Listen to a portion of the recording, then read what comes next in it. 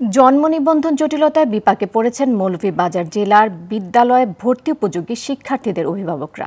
এদিকে পৌরসভা ইউনিয়ন পরিষদের অনলাইনে নিবন্ধনের সার্ভারও দুর্বল হওয়ায় চরম দুর্ভোগে পড়েছেন তারা। মৌলভীবাজারের স্টাফ রিপোর্টার চৌধুরী ভাস্কর হোমের পাঠানো তথ্যচিত্রে বিস্তারিত জানাচ্ছেন মৌসুমী রহমান।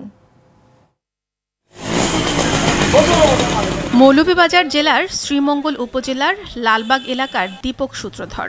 তার মেয়ে মিমকে শ্রীমঙ্গল সরকারি বালিকা বিদ্যালয়ে ভর্তি করার জন্য প্রয়োজন মেয়ের জন্ম নিবন্ধন কার্ড। কিন্তু কার্ড আনতে ইউনিয়নে গিয়ে রীতিমতো হতভম্ব তিনি।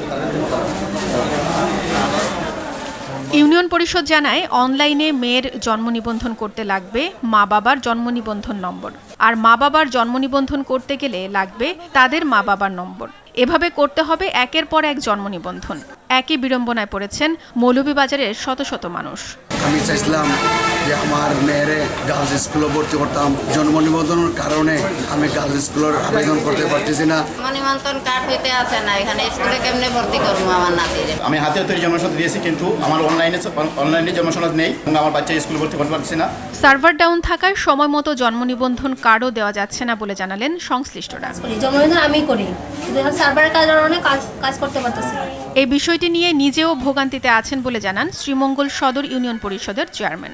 এই অসুবিধাগুলো যদি ওভারকাম করতে হয় তাহলে জনগণকে আবার ছাত্রছাত্রীর অভিভাবকের জন্ম নিবন্ধন করার জন্য একটু পূর্বের মতো সুযোগ দিতে হবে। সুযোগ যদি না দেওয়া হয় তাহলে নতুন করে বাচ্চা কাচ্চার যে ছাত্রছাত্রীদের জন্ম নিবন্ধন করা অসম্ভব হয়ে পড়বে শিক্ষার্থীদের স্কুলে ভর্তির বিষয়টি বিবেচনা করে সংশ্লিষ্ট কর্তৃপক্ষের এ বিষয়ে দ্রুত নজর দেওয়া প্রয়োজন বলে মনে করেন অভিভাবকরা। মৌসুমী রহমান, আর টিভি